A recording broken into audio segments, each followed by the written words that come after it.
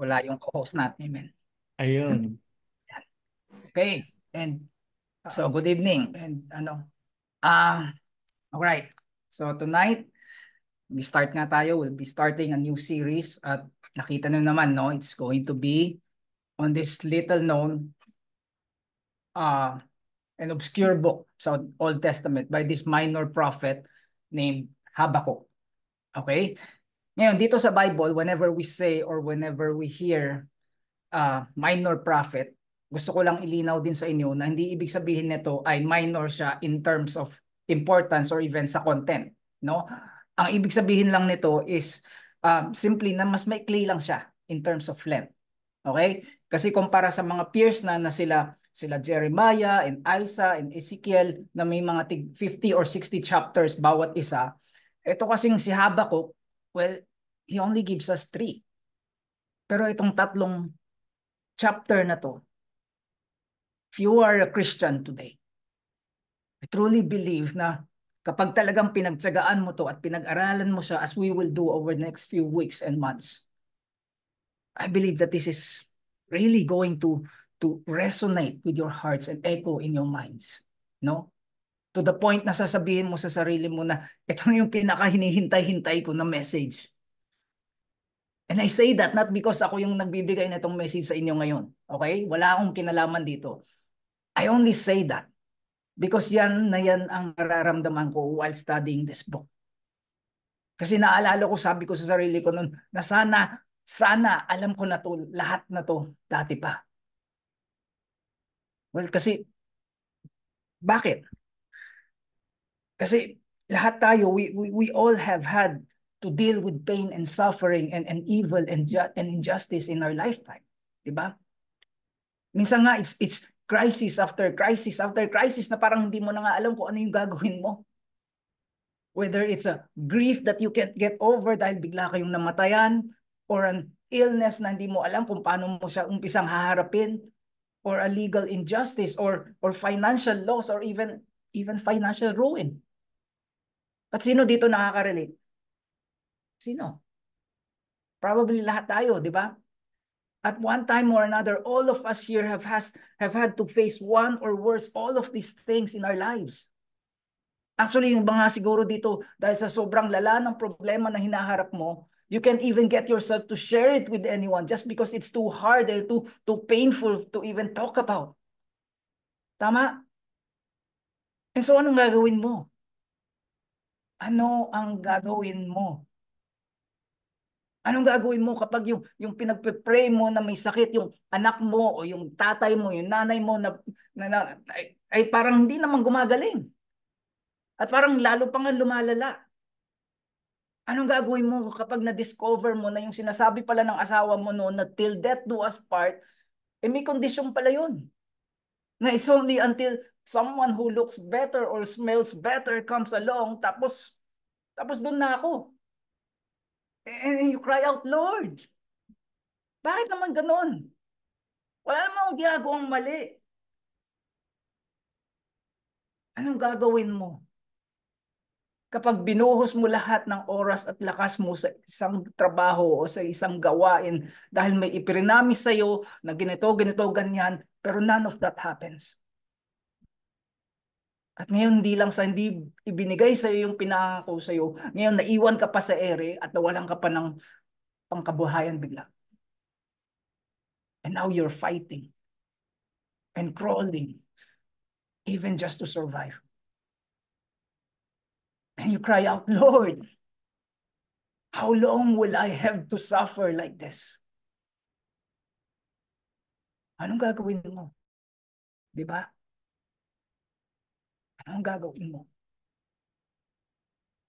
Well, in a room like this, alam ko naman na lahat sa atin dito have has has at least enough biblical knowledge or enough common sense to know that ang tamang sagot dapat dyan is to say that we should keep trusting God.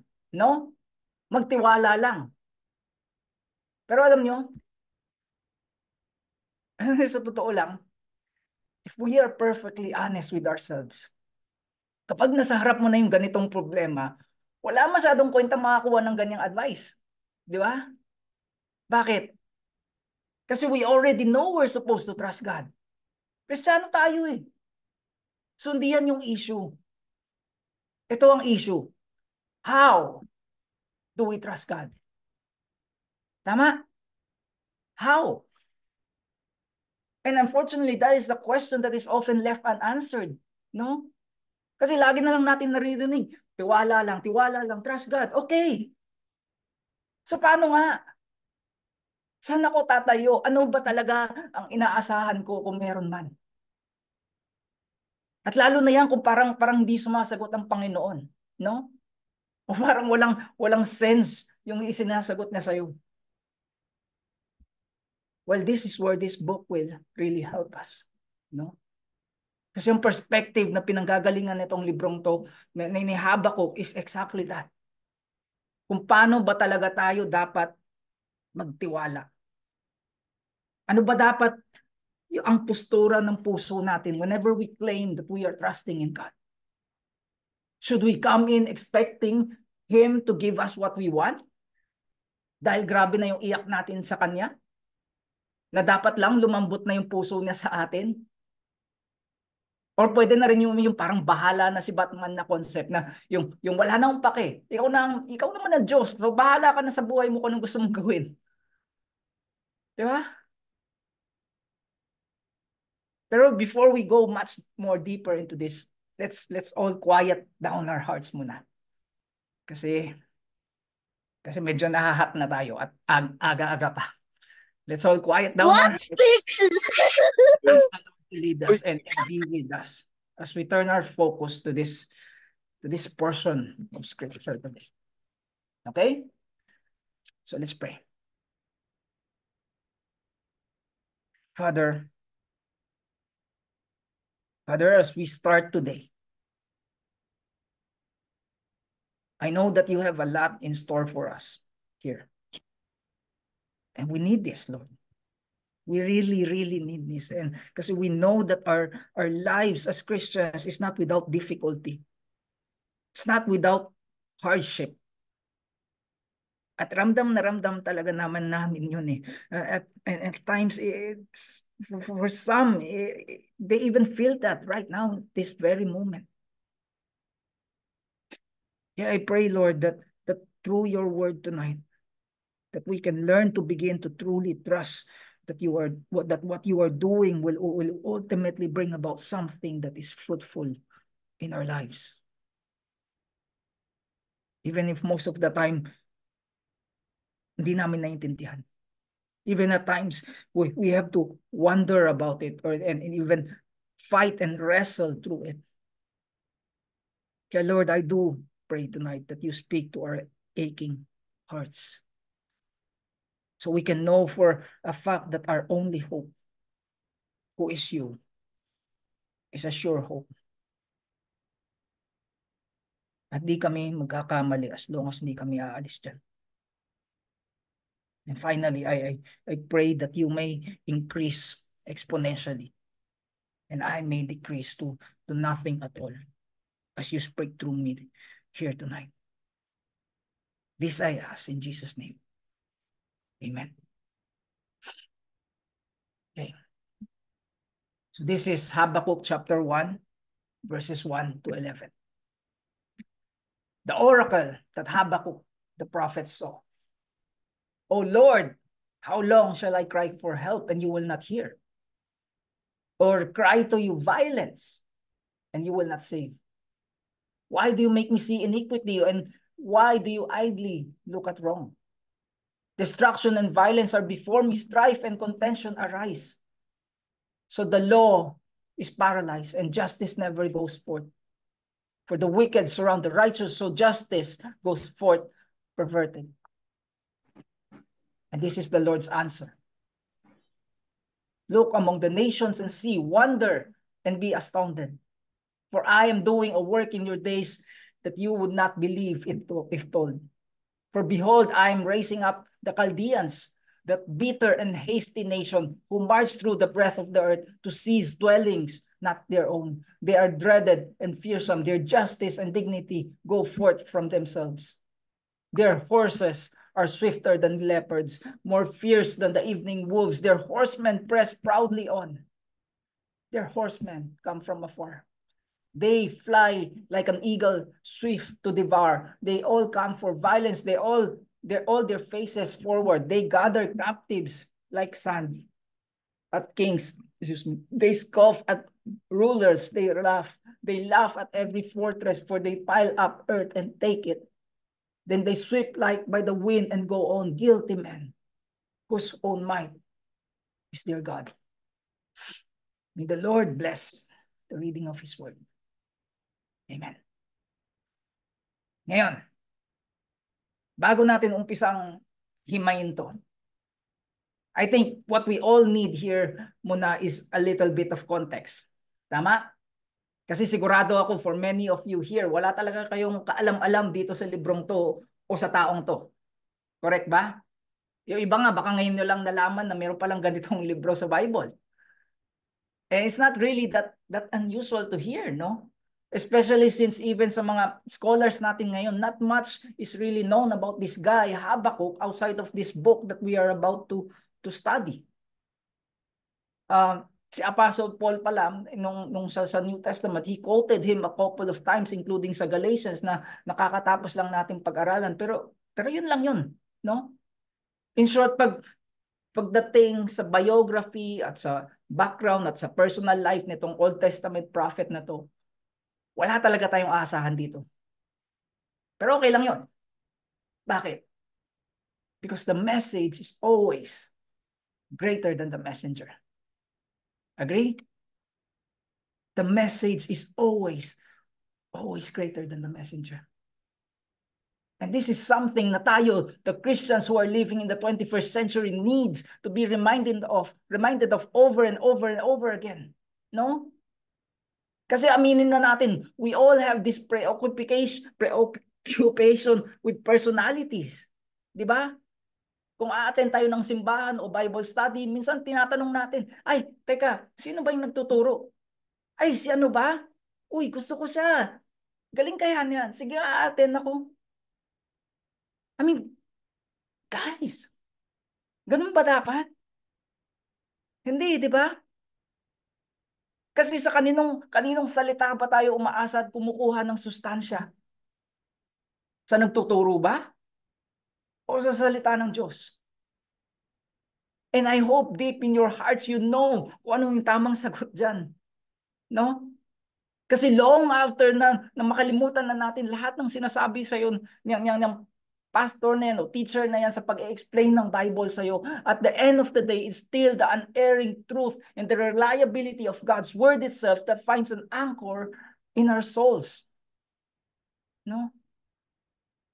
Kung natandaan nyo nga si, si, si, si John the Baptist nung, nung nagpre-preach siya, may mga dumating na tao at tinatanong siya, sabi nila, sino ka ba? Ikaw ba ang Messiah? Ikaw ba ay, ay prophet? Ikaw ba to? Ikaw ba yan? And he keeps answering, no, no, I'm not him. In fact, I'm not any of these things that you say. Until finally, nung, nung hindi na talaga sila makakuha ng matinong sagot sa kanya, sabi nilang, sabi na lang nila, okay, John, ano ba yan? Tulungan mo naman kami dito kasi ano, ano naman sasabihin namin dun sa mga nagpadala sa amin?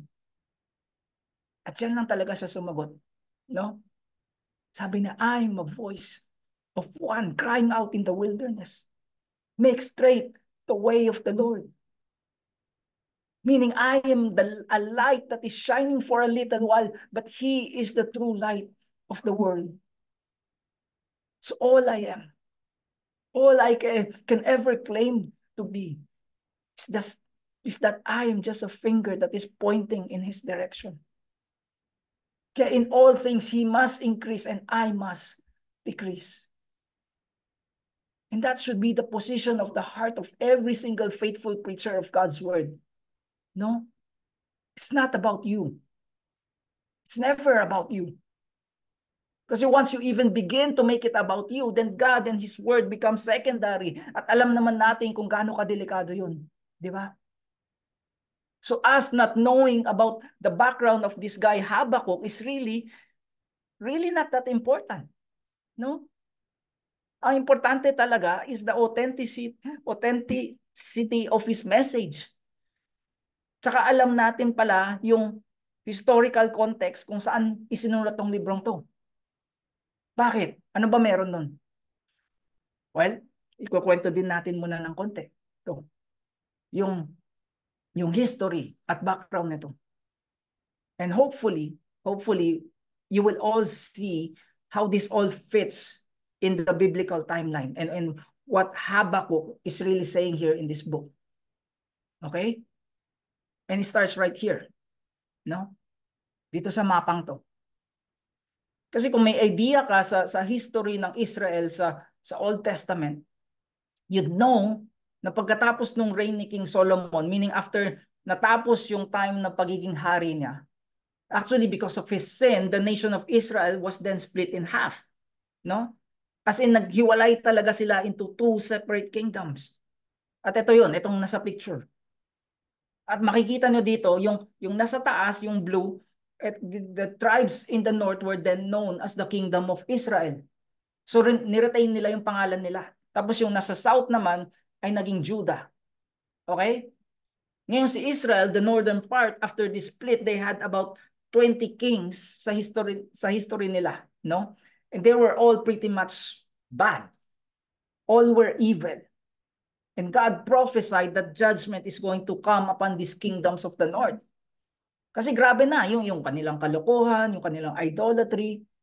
And after a time, this prophecy did come to pass. No? Kasi at around 720 BC, a nation from the from farther north called Assyria invaded them and brought this entire nation of Israel into captivity. Ngayon, kung isa ka sa mga hari ng South nung time na to, ano gagawin mo?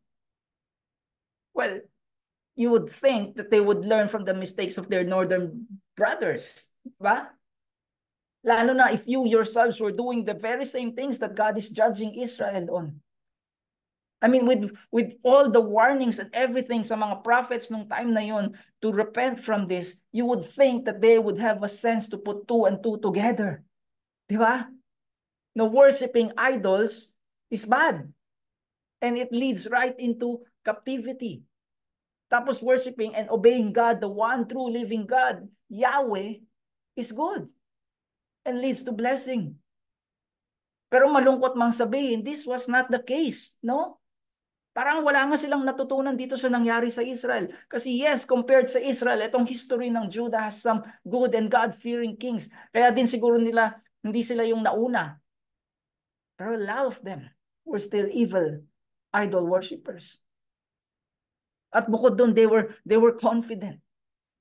Kasi nung time na to, dahil, dahil sa mga political alliances na pinag, pinasukan nila, kala nila mapoprotektahan sila ng superpower ng bansa nung time na yun. Which is sino? Si Egypt. Di ba? And so they were relying on them to be their strength instead of God. And God was about to show them that no. No. Only I would be your strength. Kasi a few years after this book was written, Judah also fell. No? In-invade sila ng Babylon, a nation who was actually not a major player before this time, pero because of God's hand and providence dito, well, naging superpower din sila. In fact, they become so dominant for a while na pati ang Egypt at ang Assyria ay natalo nila. And that would be a lesson not just for a nation but for each and every one of us here. No? Na if we would rely upon any other type of source of strength outside of God, yes, it might work for a while. Pero it will eventually fail us. Kasi it would be insufficient. Pero yun na nga, so, so, sobrang advanced na tayo sa kwento pag umabot pa tayo dyan. Kasi itong librong to, it was written prior to this invasion. No? Prior to this divine judgment from God. At the time when, when the kingdom of Judah was so corrupt and so violent and so worldly, that this man of God, this prophet na si Habakkuk ay, ay napapaiyak na lang at napapatanong kay God. Sabi na, Lord, Bakit naman ganito? Bakit hinahayaan mo na lang gawin ito ng mga tao mo? But, but parang wala kang ginagawa. Lord, nandiyan ka pa ba? Lord, may, may paki ka pa, ka pa ba? And by the way, this is also what makes Habakkuk unique as compared to all the other prophets that you will read sa Old Testament. No? Kasi what this book basically is, is it's a dialogue between Habakkuk and God himself. Whereas in all the other prophets na, na mababasa mo sa Old Testament, it's always God speaking through the prophet to the people. Kasi yan naman talaga ang role ng isang prophet, di ba? They were supposed to be the mouthpiece of God. Pero here, it's different, no? Um, here, it's as if we get to eavesdrop on this conversation between God and one of His prophets. Dahil hindi na matanggap-tanggap yung nakikita niya at nagko-complain siya. Dahil hindi na ma-reconcile sa isip niya kung bakit parang parang hindi tumutugma yung mga pangako ng Panginoon sa mga nangyayari. Which also makes verse 1 of this book especially interesting, no? Kasi tingnan to, tingnan, tingnan itong verse 1. The oracle that Habakkuk the prophet saw. Now, ano yung oracle? Because it's not really a word that we usually see in our everyday language. Tama? Well, sa Hebrew, where this is originally written in, this word is literally translated as a burden. No? A burden or in this case, a prophetic burden. And it's such a curious word to use in general, diba? Kasi this is actually, uh, uh, kasi what is what is actually happening in the lives of this this Old Testament prophets uh, is that God comes to them in some some supernatural way. This this ordinary and, and everyday people, uh, and and then then it it it's like he invades their hearts and their minds with this this thing, this message that is so overwhelming na kailangan talaga nilang ilabas o i-proclaim sa mga tao. Otherwise, baka, baka pumutok sila. Kaya nga siya burden, no? So whether it's God's burden to a broken world or or his burden to let his people know about the judgment that is to come dahil ang titigas na ng ulo nila, ipapasa na yan sa napili niyang prophet. He will lay it on this prophet's shoulders and he will give him this, this unique vision that is happening of what is happening or, or what is to come. Kaya nga when the prophet writes in this way or speaks in this way sa Bible, it's always under the direction and inspiration of God. No? And what's interesting dito is that this also applies to Habakkuk. No? Kasi although this entire book is a conversation between God and him. At although ang pinag-uusapan nila is basically centered upon his questions and his confusion about what God is doing or not doing, um, what this is telling us is that it's still God who ultimately gave him this heavy burden or this, this awareness to even bring this to God in the first place. Kasi by the end of this book, Medyo spoiler alert lang to ha. But you need to know this. By the end of this book, magiging panatag yung kalooban ni Habakkuk. Actually, hindi lang nga panatag, but he will actually rejoice in the Lord through his pain and through his afflictions. And get this ha, maski na wala naman nagbago sa sitwasyon niya. Narinig niyo yun? Maski walang nagbago sa sitwasyon niya. God brought this guy, this prophet of his, from a position of doubt and discouragement to a position of full joy without even changing a single thing surrounding his circumstances. So ang mga issue na pinoproblema niya dito sa umpisa, issue pa rin yan by the time this book ends. Okay? And yet, and yet his discouragement has somehow turned into joy.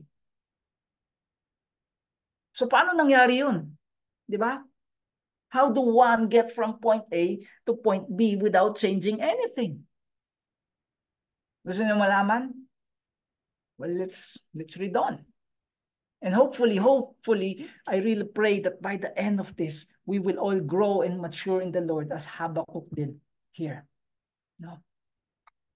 Pero for now, tingnan muna natin tong verse 2 to 4. Kasi ito yung unang complaint niya. Sabi na, Oh Lord, how long shall I cry for help and you will not hear? Or cry to you violence and you will not save? Why do you make me see iniquity and why do you idly look at wrong? Destruction and violence are before me. Strife and contention arise. So the law is paralyzed and justice never goes forth. For the wicked surround the righteous. So justice goes forth perverted. Now remember, this is a prophet of God. This is a godly person. And he sees sin and disorder sa mga tao niya. I mean, nakita na naman yung mga words na ginamit niya dito, di ba?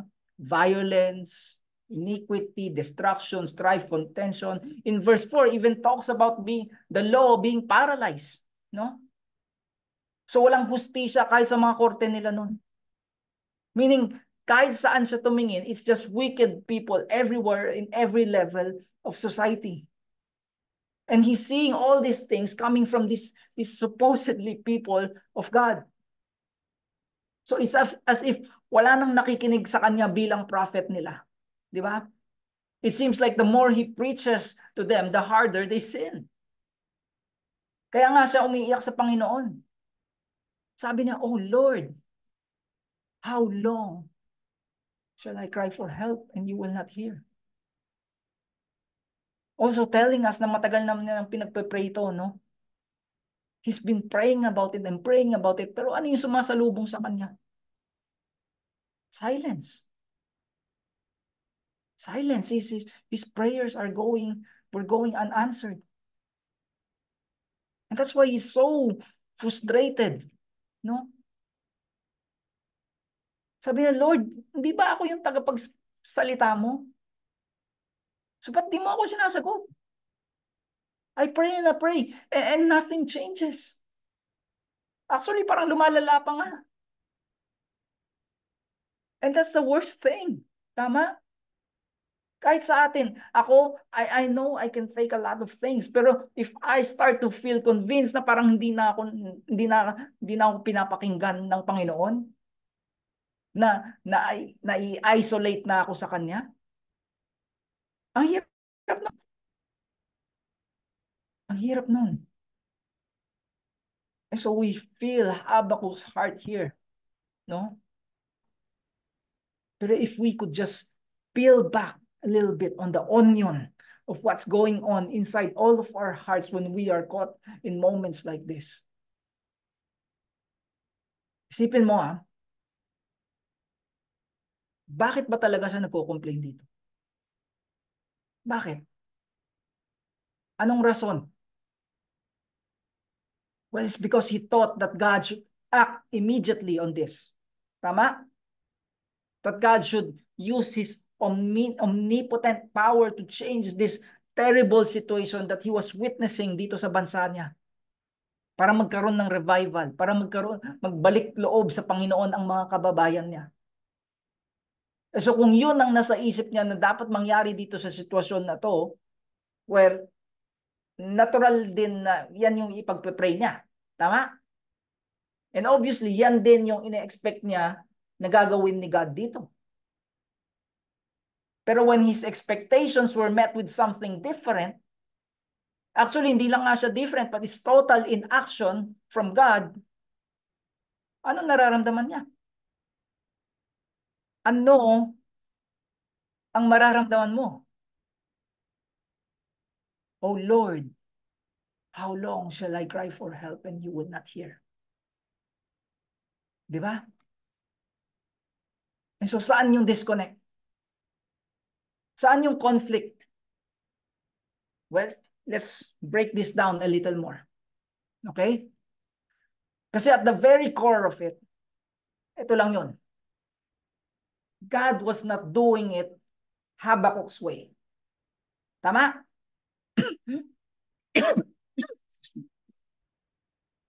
There was a conflict between what Habakkuk thought was right and what uh, and what he wanted to have happen in this situation and what God was actually orchestrating through his providence. Kasi he chose to wait. To let it be muna. And so hindi sila tumutugma, no? Kaya friends, brothers and sisters in Christ, how should we trust God? We start right here. Start right here. At alam kong medyo medyo humbling to para sa, sa marami sa atin dito mapakinggan pero kailangan talaga natin marinig to. You see, God does things His own way. Okay? God does things His own way. God does what He thinks is right. He orchestrates things according to His wisdom and providence. At alam niyo, alam niyo, He doesn't need your approval to do so. No? He doesn't need your affirmation kung okay ba sa'yo o hindi, kung matutuwa ka ba o maiinis. He just does it. By His sovereign authority and perfect omniscient wisdom, He just works according to His will and eternal purpose. At dyan tayo laging nagkaka-conflict sa relationship natin sa Kanya. Di ba?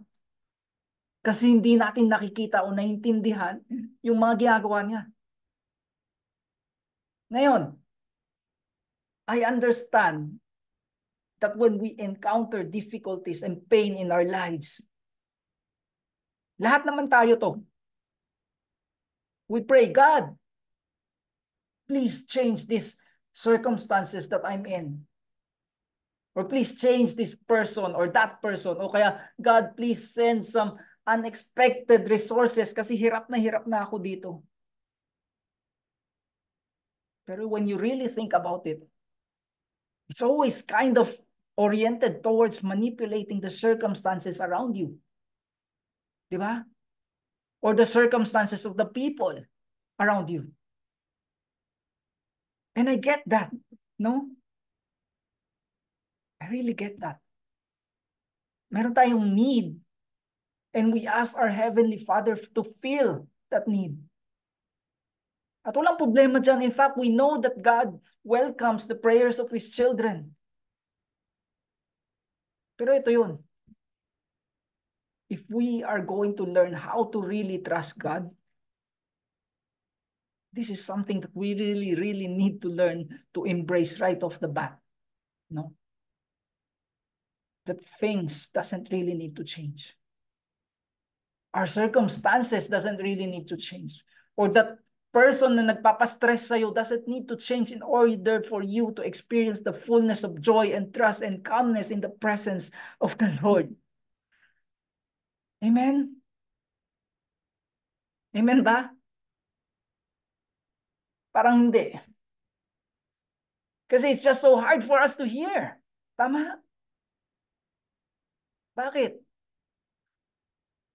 Because all our lives, we have been conditioned to think that trusting God means that we have to, we are trusting in Him to give us the outcome of what we are asking for. Di ba? Yung Lord, magtitiwala ako sa iyo na papagalingin mo yung mama ko. O Lord, I pray in your name na bibigyan mo ako ng magandang solusyon dito sa issue ko sa trabaho. O Lord, I claim in your name na itong perang nawala ko ay i-restore mo at ibabalik mo ng mas malaki pa. Pero think about it. I mean, I mean really, just just think about it. Kasi if we're perfectly honest with ourselves, this is not really trusting in God. Di ba?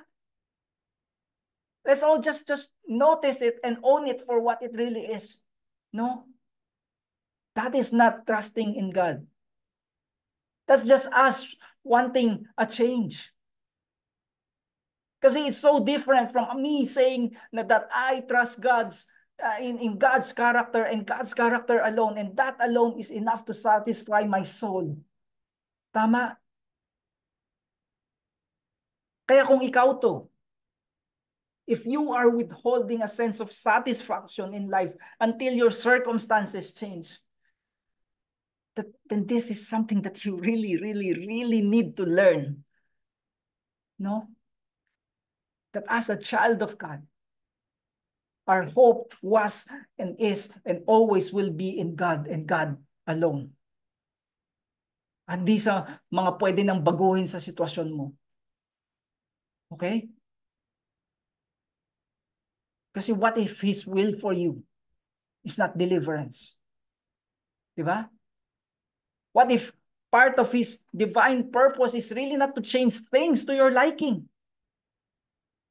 To not heal your mom and dad? To not restore the money that you lost? To not give you the spouse that you want? So paano na? Mawawalan ka na lang ng pag-asa? Kasi yan yung tendency talaga pag, pag kapag ganyan yung pag-iisip mo, di ba? If we don't get what we're asking for, we then start to doubt God's care for us or worse, we even start to shake our fists at God. Kasi frustrated na tayo. Listen, God is not so unkind as to answer all our prayers when we want them answered. Okay? God is not so unkind as to answer our prayers in our time frame. Kasi even His delays, kahit gaano pa yan, will always, always have a divine purpose. Sipin mo ah, what if kaya ganun siya sumagot o hindi sumagot sa'yo? is simply just to teach you how to trust in Him in the waiting. Di ba? James 1.2 Count it all joy, my brothers, when you meet trials of various kinds, for you know that the testing of your faith produces steadfastness. And let steadfastness have its full effect, that you may be perfect and complete, lacking in nothing. What if it's this? Di? And by the way, ah, this is actually a theme that has been repeated over and over and over again throughout the Bible. No? That having true intimacy with God is not to live in the highest of mountains, but it's to get to know His faithfulness while you are in the deepest of valleys. Kaya nga David says, though I walk through the valley of the shadow of death, I will fear no evil. For you are with me, your, your, your rod and your staff, they comfort me. So paano kung ito yung ginagawa niya sa buhay mo? Mabubuisit ka na lang? Or ito din, What if kaya hindi siya sumasagot? It's because he's dealing with an area of disobedience or selfishness, selfishness in your life. Pero instead of just submitting to His will, lalo mo pang niyalabanan. Pwede din yun. Ba? Or maybe, just just maybe, He is actually saving us from ourselves kasi alam niya, niya alam niyang may hindi magandang mangyayari kapag ibinigay niya sa iyo yung hinihiling mo. Kaya hindi na binibigay. Kita niyo yun? So whatever the case, there's surely a reason for it. No? Kaya nga the Bible keeps telling us on multiple occasions to, to just keep on waiting on the Lord.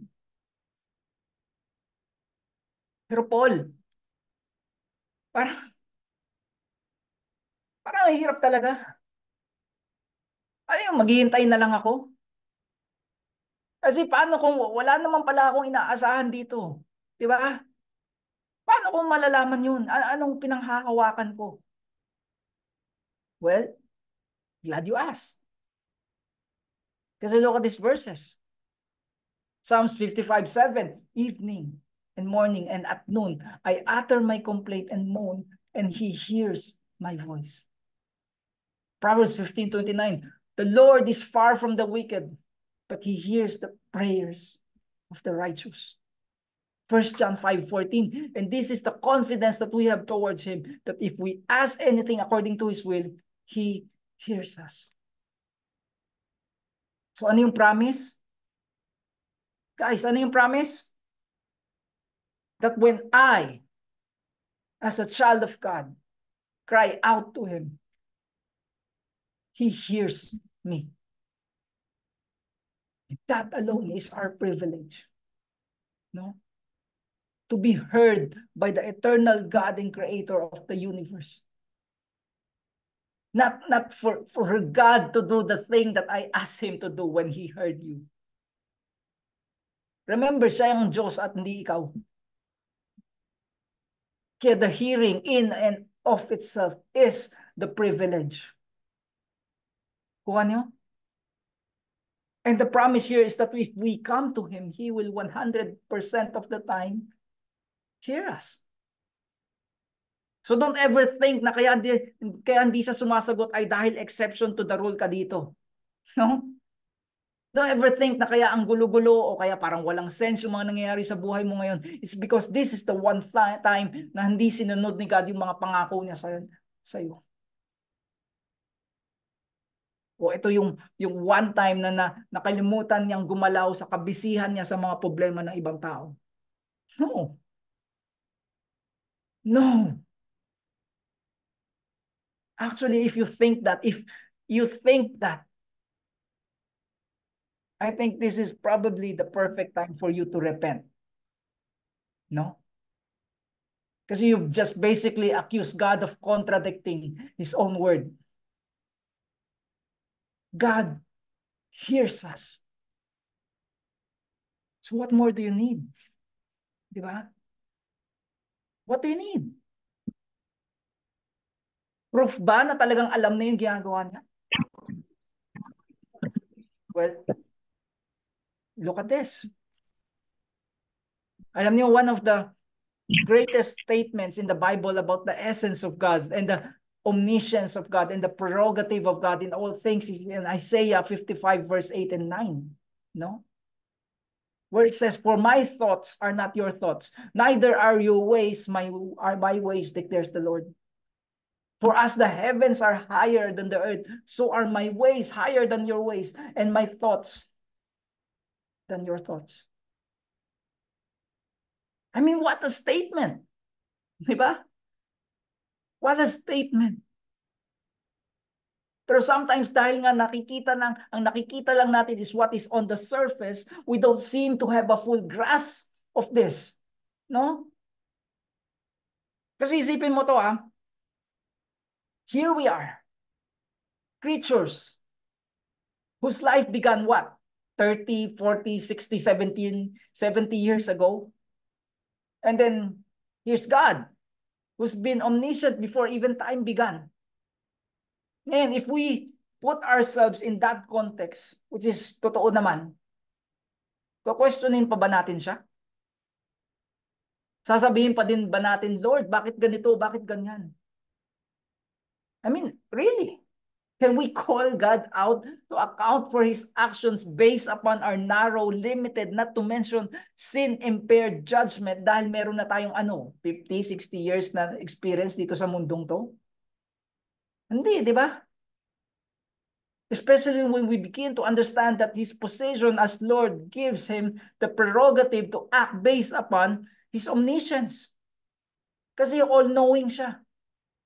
Kaya nga minsan kung gumalaw siya, we can even begin to comprehend kung ano ba talaga ang nangyayari. No? Kasi nga iba yung level natin and our level as human beings does not allow us to see the whole picture. And speaking of picture, alam niyo yung jigsaw puzzle? Alam niyo to, di ba? Ito yung pag binuksan mo yung isang box, whether it's 500 pieces or 1,000 pieces, there's just going to be uh, jumbled pieces in there together without any order in them. Now, kapag binigyan kita ng isang piraso dito, and you hold it up and look at it, sigurado ako kahit gaano ka pa katalino, it's not going to make any sense to you since it's isolated from its own context. Tama? Kasi there's nothing to connect it with anything else. Pero, pero kapag binigay ko sa iyo yung buong box, kung saan makikita mo yung buong picture sa cover. At nakikita mo kung saan dapat siya nakakabit. Kahit nga yung general area lang kung saan siya dapat isama. You're gonna say, ah, ganun pala yun. Now I see the connection. Now it makes sense why this piece is important or, or necessary. And that is basically a picture of all those awful sorrows in your life that we can't make sense of. No? We complain because we don't see anything, everything in context. Because we don't have the right perspective. Pero now, na alam na natin na itong pinagdadaanan natin is just part of a bigger picture that is orchestrated by our high and lifted up God, whose ways are higher than our ways. Well, masakit pa rin. Pero I now feel a little bit better. Diba? I feel a little bit at ease. Kaya kaya ko nang sabihin ngayon na, na kahit hindi ko naiintindihan lahat, I now have enough context to inform my heart that I can trust God even if I don't understand this one individual thing that I am experiencing. And that is so crucial para sa ating lahat. No? That is so crucial for us to actually trust God and His character na even if nothing really changes in our situation, na even if everything makes no sense at all, okay lang yun. Okay lang yun. Kasi nga, now I know that my God, the God who controls everything, thinks differently than I do, and bigger than I do, and better than I do. And with that perspective, I can now confidently say na alam mo, although mahirap, although madilim,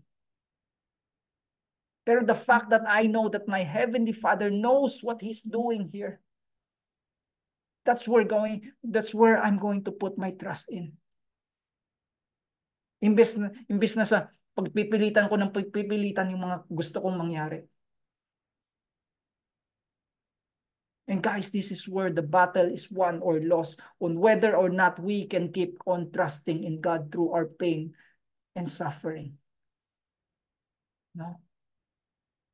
Are you going to believe and trust in God's word and that and what it says about God's character?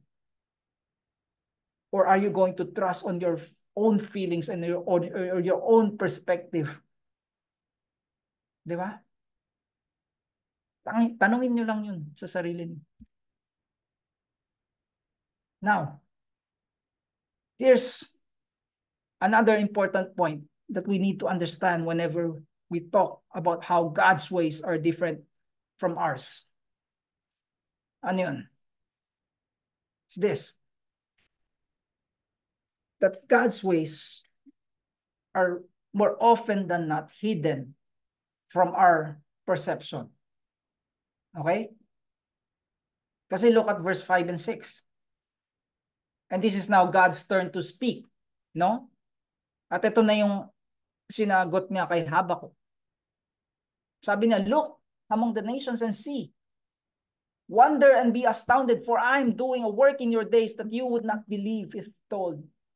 For behold, I am rising up the Chaldeans, that bitter and hasty nation who march through the breadth of the earth to seize dwellings not their own. So ano yung sinasabi niya dito? Well, notice first of all na although God responds to Habakkuk here, hindi niya talaga sinagot yung mga tinatanong niya. No?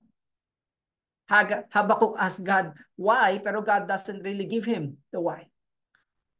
Instead, he simply tells him, Habakkuk, kung sa tingin mo wala akong ginagawa, may ginagawa ako.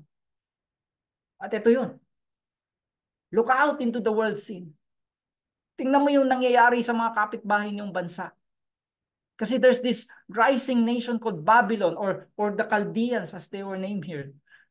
At itong bansang to, kung updated ka sa mga happening sa mundo, they have been gaining momentum and gathering strength as they are marching through city after city, violently conquering each one.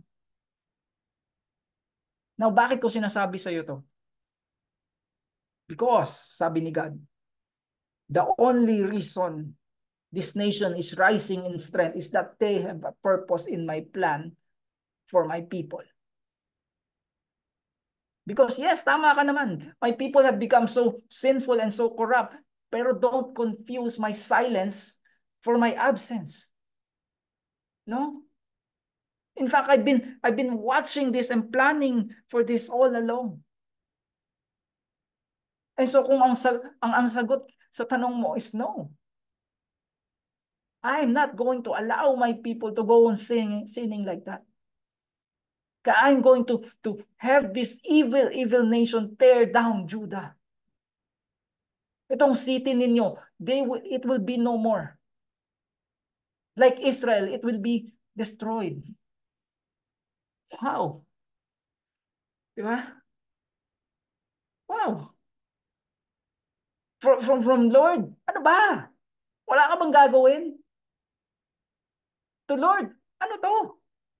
Ano anong sinasabi mo? I was asking you to intervene. I was asking for a happily ever after. Hindi hindi ganito. And by the way, uh, how how evil is this nation? Well, let, let's read on. They are dreaded and fearsome. Their justice and dignity go forth from themselves. Their horses are swifter than leopards, more fierce than the evening wolves. Their horsemen press proudly on. Their horsemen come from afar. They, then they fly like an eagle to swift, swift to devour. They all come for violence. All their faces forward. They gather captives like sand. At kings they scoff. At rulers they laugh. They laugh at every fortress, for they pile up earth and take it. So basically, God is saying, Habakkuk, this is one powerful, powerful nation. Kasi not only are they strong, but they are ruthless. Sabi nga dito, when, when kings and rulers go up against them, pagtatawanan lang nila. When they see a fortress or any kind of defense mechanism, they're just going to take it. In short, walang makakapagpigil sa kanila. No? At alam mo, Habakuk, sabi ng Panginoon, they are this strong only because I am strengthening them to do that. To do what I have set them out to do. Kasi he ends this statement, by saying that they sweep by the wind and go on, guilty men, whose own might is their God. Sweep by what? Sweep by God's people. To conquer them and carry them into exile. These godless people whose only God is themselves. And by the way, kung alam niyo yung kwento ni Daniel, saka yung mga kaibigan niya, sila Shadrach, Meshach, Abednego. Nung dinala sila at yung mga ibang magagaling at matatalino at gwapo na lalaki sa Babylon, pagkatapos sila in-invade, ito yun. No? It's this same event that God is impressing upon Habakkuk here before it actually happened. Pero anyway, At least just just for our purposes tonight. So ano ba talaga nangyayari dito? Why is God really telling Habakkuk here? Well, let's go back to verse 5.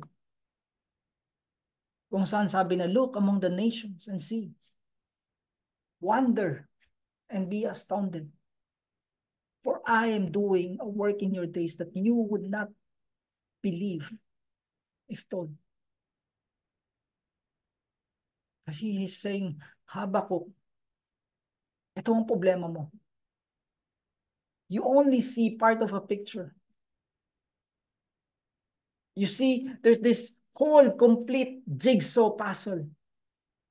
And you've only have a couple of pieces in your hand, but you think you got it all. You think you understand it all. But you don't. You don't. There's information here that you don't have. Pero kung makatanong ka, Oh Lord, how long shall I cry for help and you will not hear?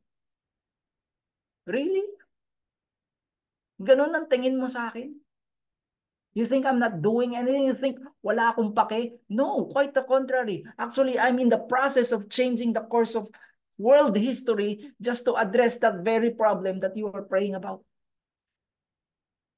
And so although Habakkuk here foolishly accuses God of inactivity and indifference, God here shows us that he has absolutely no idea what he was talking about.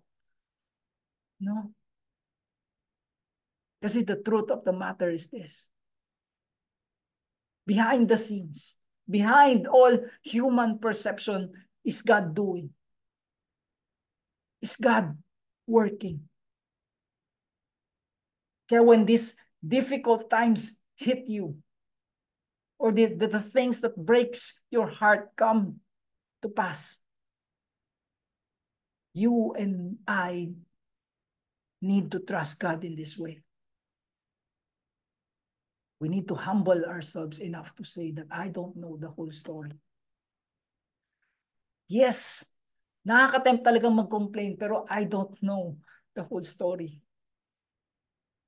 So I'm not in a position to judge or evaluate anything by saying that this is not fair or this is not right. Because there's so much more going on in reality that what I can than, than what I can see through my own limited perception.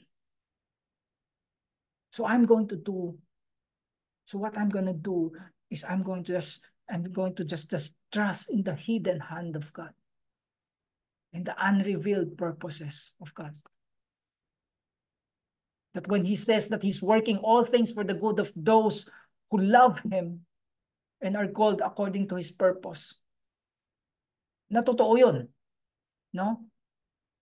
Na pundasyon siya na pwede kong kapitan kahit gaano pa kadilim yung, yung paligid ko. Kahit nga hindi ko na nakikita yung sarili kong paa sa kadiliman.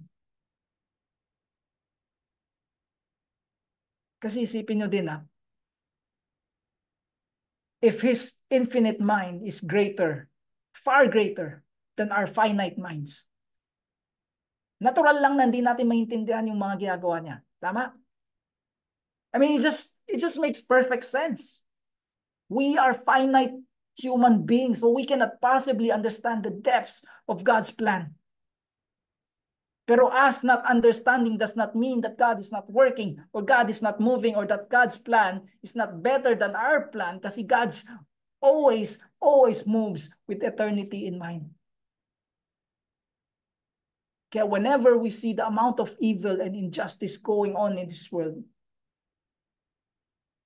I mean, kahit, kahit sa gobyerno lang natin, di ba?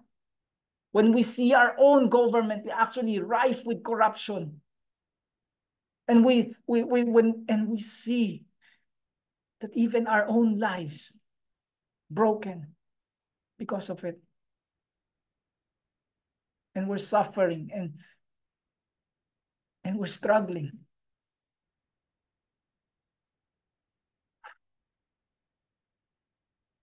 Actually, ang hirap nga nun. No? So heartbreaking.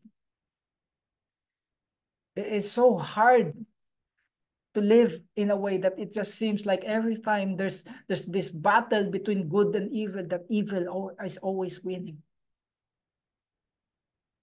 i mean i mean really it's just so hard to live in a world like this with a thought like that going through your head diba I've got good news for you Actually, it's incredible news. Kasi although these, these battles of ours may be confusing, although these battles that we have are, are disheartening or even depressing at times, the good news that I want to tell you is that this war has already been won. Narinig niyo yun? This battle between good versus evil na pinag-uusapan natin through all throughout the night, it has already been won. 2,000 years ago. When God sent His only Son to this broken world to live a perfect life. Because yes, although we have all the right in the world to be heartbroken and devastated about all the effects of evil in our lives, pero we also have to acknowledge that in some way, shape, or form, this evil also exists in our own hearts as well. Di ba? So kailangan din solusyonan yun. That's why Jesus came and live a perfect life because you and I couldn't. And he, he went to the cross to be beaten, to be punished and, and tortured and executed for you as a payment. So that your sins too can be paid for. In short, he took on our death.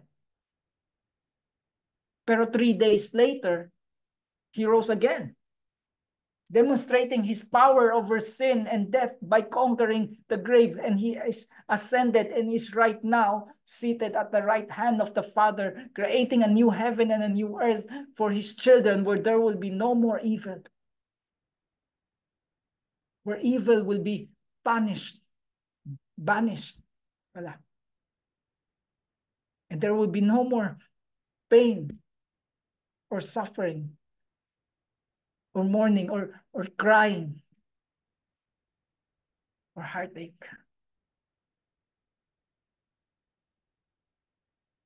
So where was God when Habakkuk said, Oh Lord, how long shall I cry for help? At since tinatanong na din natin yan, where was God for the hundreds of years when well, Israel suffered in Egypt as slaves? At later on, dito din, sa Babylon. Where was God on your darkest day and in your darkest hour? Ang sagot is he is in the same place that he always was when he crushed and killed his only son to make things right. He was where he always is, being our only hope. So instead of crying over the circumstances and, and, and, and lamenting on how difficult your life is right now, can I just remind all of you tonight that God sees, that God hears, that God remembers his promises, and God knows. God knows. And the culmination of all of that was the person and the work of Jesus Christ. Kasi when Habakkuk was crying out to God kanina sa verse 1, when Israel and later on Judah groaned to God in pain, what they had no idea of was that their deliverance is already on the way. Kasi nga years would pass before the deliverer would come. No? Pero yung iniisip nila araw-araw noon, na kinalimutan na sila, well, it has been proven wrong. Kasi as New Testament believers, we do have the benefit of hindsight, di ba? We do have more jigsaw pieces that, that on hand than what Habakkuk has dito. Kasi alam na natin how the rest of the story goes. That for God so loved the world that he gave his only begotten Son, so that whosoever believes in him shall not perish, but have everlasting life. Friends, that is our only hope. Because that is our only hope, we need not look elsewhere. Amen? And so let's let's end with this. Psalm 121. And may the Lord, uh, may the word of the Lord lift all of our hearts tonight with this as we close. I lift my eyes to the hills. From where does my help come from? My help comes from the Lord who made heaven and earth. He will not let your foot be moved. He who keeps you will not slumber. Behold, he who keeps Israel will neither slumber nor sleep. The Lord is your keeper. The Lord is your shade on your right hand. The sun shall not strike you by day, nor the moon by night. The Lord will keep you from all evil. He will keep your life. The Lord will keep your going out and your coming in. And from this time forth and forevermore. Amen. Let's pray.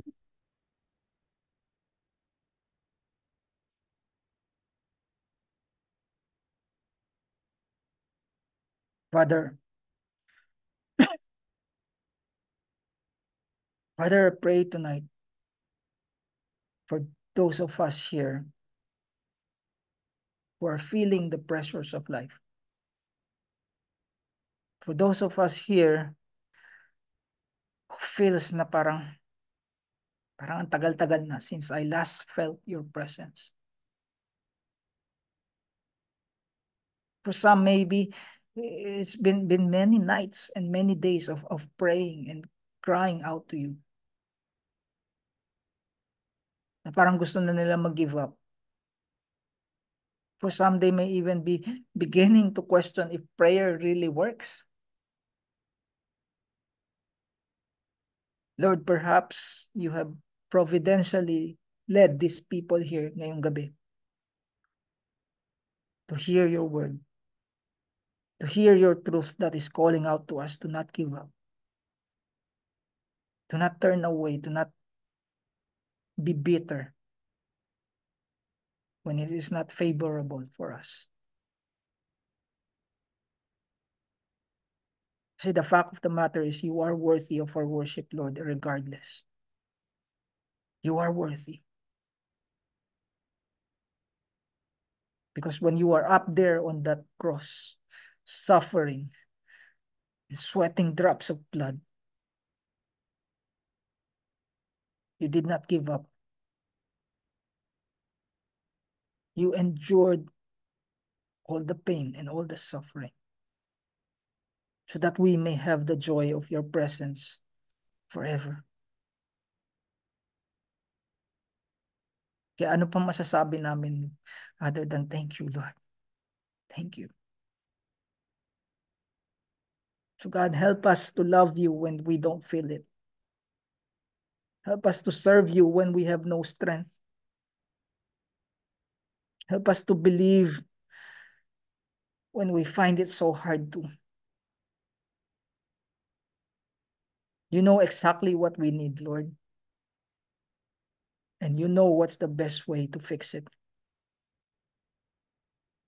So in this moment, we just we just rest in that truth